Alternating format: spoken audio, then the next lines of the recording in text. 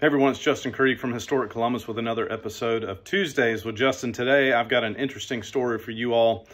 I was uh, at dinner the other night and heard this story, and I've done some research. I'm down here in the archive uh, of Historic Columbus here at the Rankin House and have done some reading and have come up with what I think is the first fully documented historical account of a road rage incident in Columbus, Georgia, or at least it involved roads.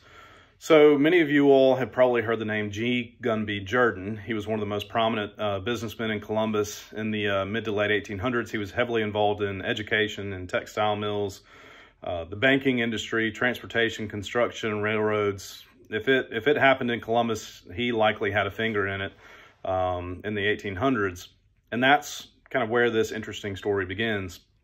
In 1889 there was another prominent businessman in uh, in Macon, Georgia, that had been doing some deals with uh, G. Gunby Jordan. His name was B.T. Hatcher, and he accused Jordan of some unethical unethical business practices related to a construction project that um, that was ultimately building a road from Columbus to Atlanta. Long story short, like a lot of road projects do, it was running behind um, behind its timeline and well over budget and was in need of some additional capital. And so Jordan was trying to, to convince Hatcher to inject some more capital into the project, roughly $15,000 at the time.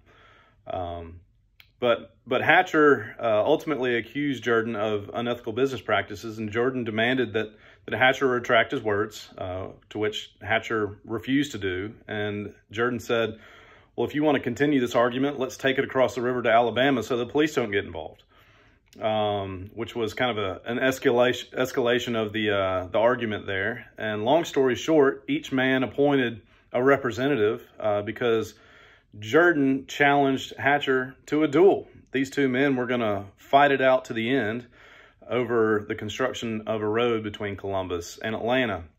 So the two representatives were to negotiate and, and come up with a set of terms for the duel, and ultimately they came up with a scenario where they would mark off a 10-foot circle and the two men would fight each other to the end with Bowie knives, which are essentially Rambo knives if you're not familiar.